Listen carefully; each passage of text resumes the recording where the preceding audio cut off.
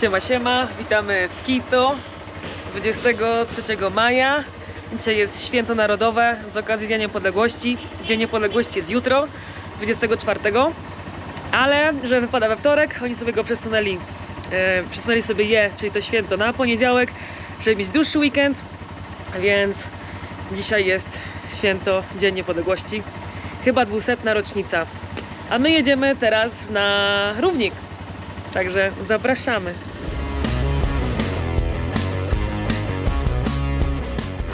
Myśleliście, że Radio Maria jest tylko w Polsce? To patrzcie na to. Radio Maryja. Nie mają swojego ojca ryzyka. Kto wie. Mamy 36 minut do celu, 32 km, także trzeba przejechać przez całe miasto i widzicie, że miasto jest spore. Długie na przynajmniej 40 km, jak nie więcej.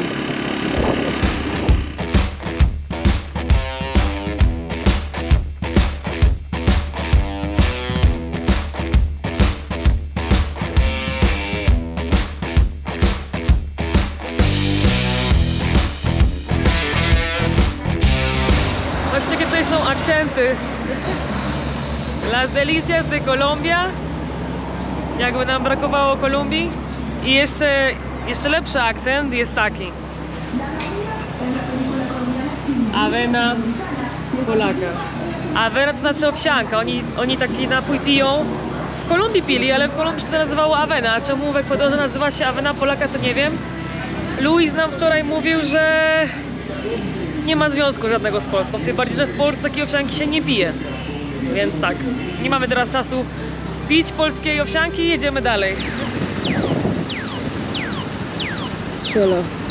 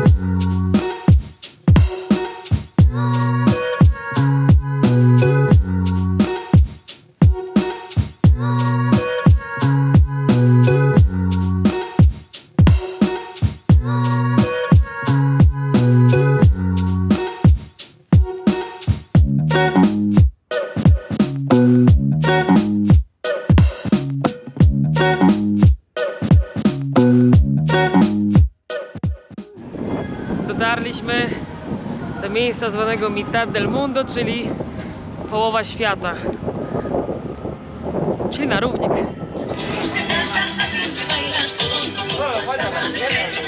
O, świnki morskie. Biedne. No, no, gra- yo, yo no como carne. To jest całe takie miasteczko. O, lecić. Polecieliście. To równik, to ta grawitacja. I tu jest całe takie miasteczko zrobione, które się nazywa Vita del Mundo, no, środek świata. Tępyk świata. Czy jak zwał, tak zwał. Że to jest całe miasteczko. Jest oczywiście ten monument. Train station, mówiłem ci, że jest train station. Jest nawet jakiś ryneczek. Tak, jest train station. Jakieś muzeum piwa kraft, kraftowego. Plac kultu- kulturalny. No Dobra.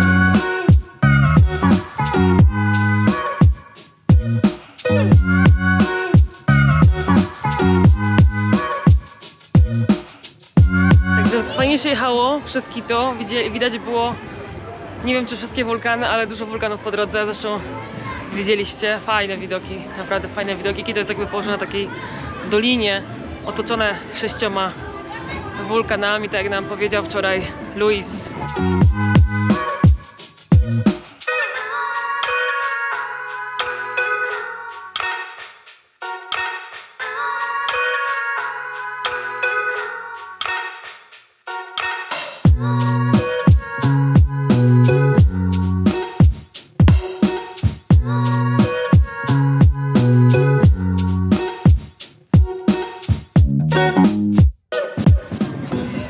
Ekwador oczywiście swoją nazwę zawdzięcza równikowi, bo Ekwador po hiszpańsku to jest równik. Więc jesteśmy w równiku na równiku. Con babita. Le meten arroz primero. Sí, vamos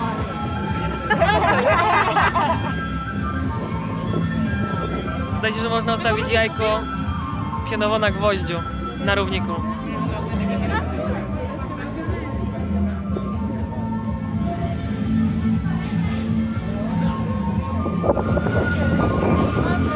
Chyba za bardzo wieje na takie eksperymenty.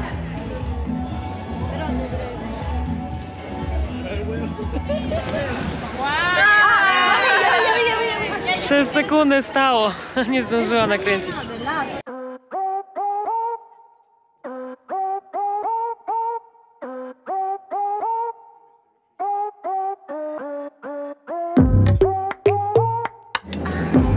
Chodźcie, przejdziemy się równikiem.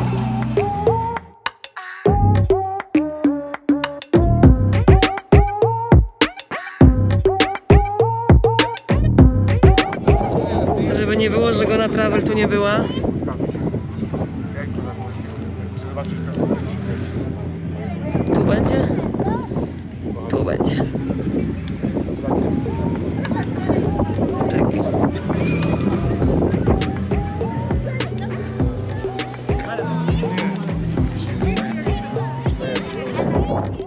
Słuchajcie, jeśli tu jest wschód,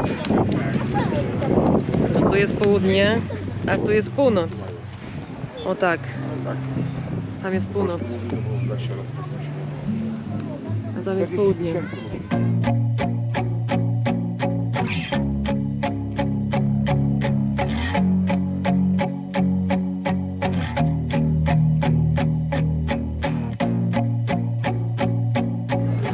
Glob, który ma podobno 4,5 metra. Waży kilka ton. No i patrzymy z góry na półkulę północną i półkulę południową.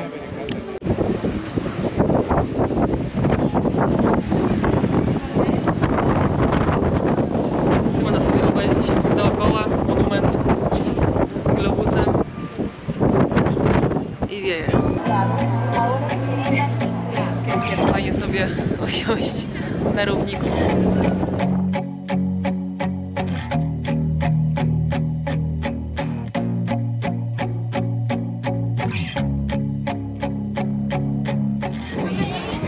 Tak wydaje, że wiesz, o co chodzi, ale nie wiesz, o co chodzi.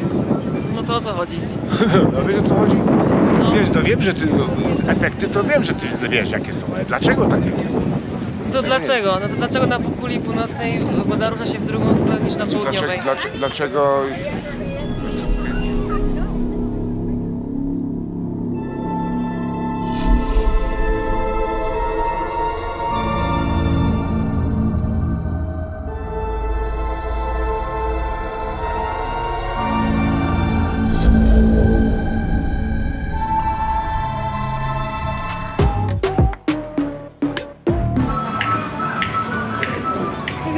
miasteczko, jest nawet kościółek.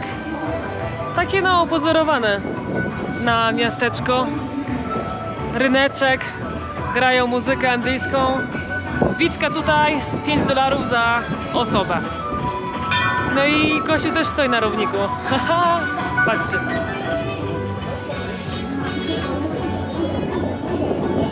To prawdziwy równik nie jest tutaj, tylko jest 240 metrów na północ, czyli tam, od linii równika.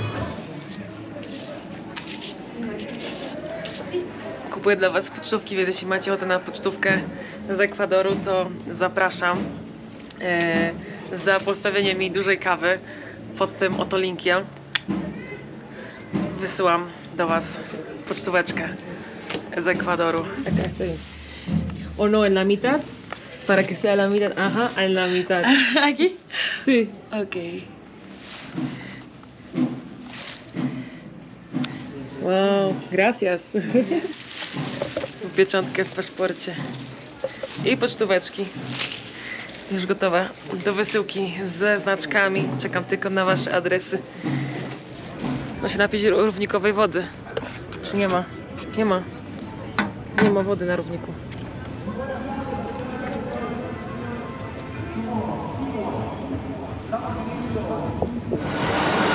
Teraz idziemy w to prawdziwe miejsce 200 metrów na północ. Muzeo Intian się nazywa. Idziemy zobaczyć.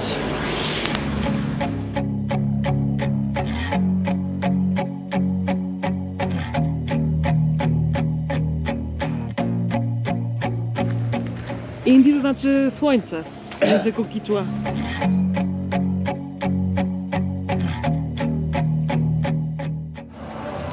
To jest prawdziwy równik. Pyk.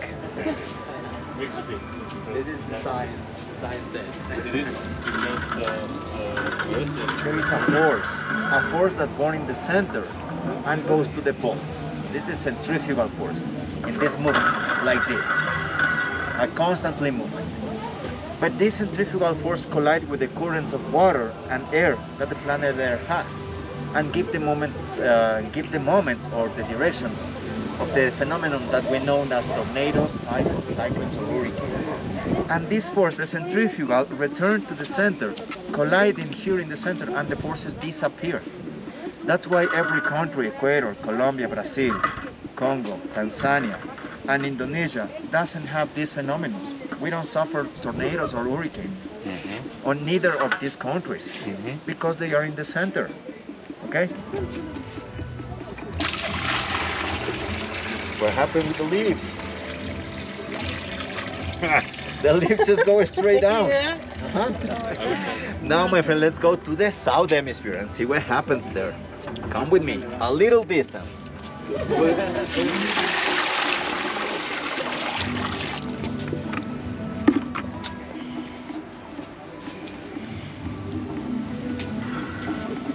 Okay, you ready?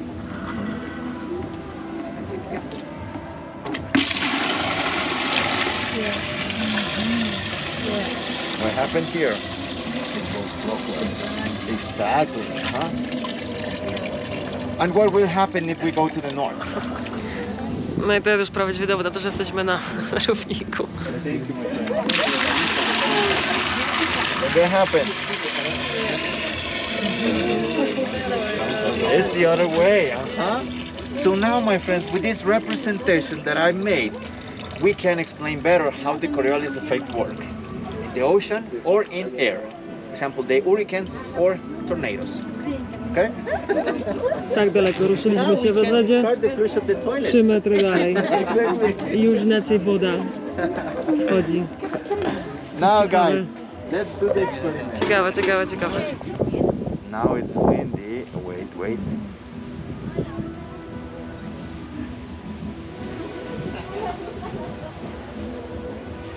Um, there it is. Oh, and if you succeed, the museum gives you the certificate. Okay, so it's your turn. Somebody else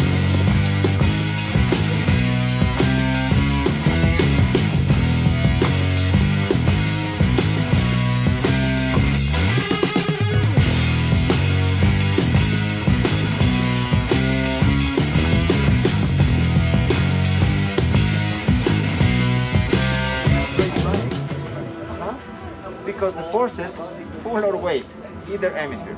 So you need to walk in a straight line, heel to toe, open your arms and close your eyes. When you, my friend, close your eyes, you will feel the centrifugal force pull you out.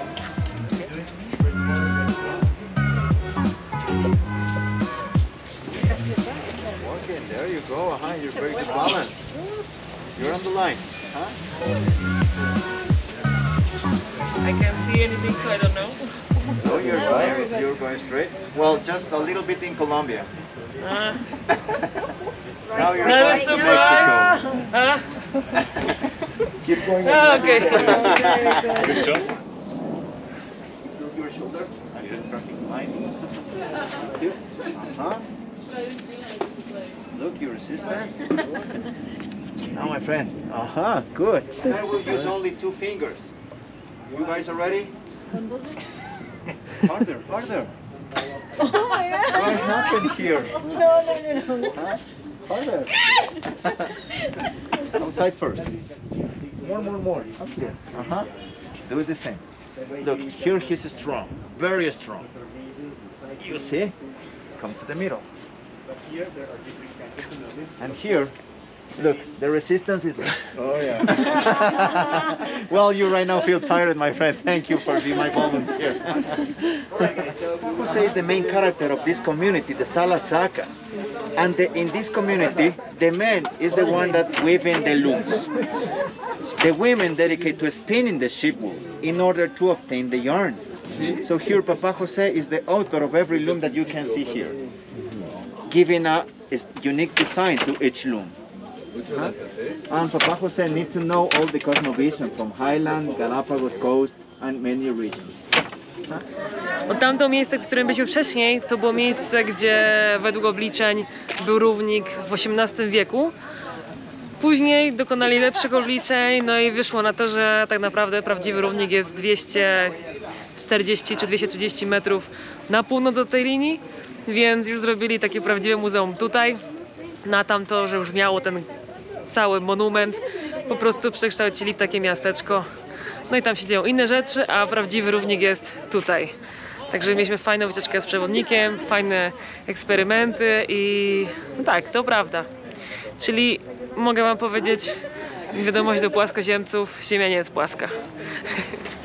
Fasolki. No, dla ciebie, no ale tu nie są takie, no chodź. No śmieję się.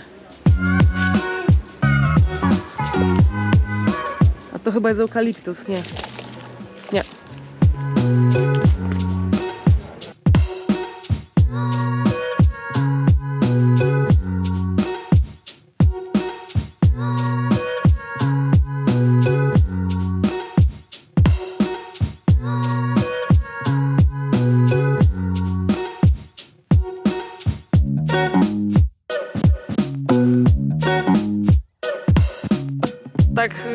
Co ja chciałam powiedzieć? Inaczej chciałam powiedzieć.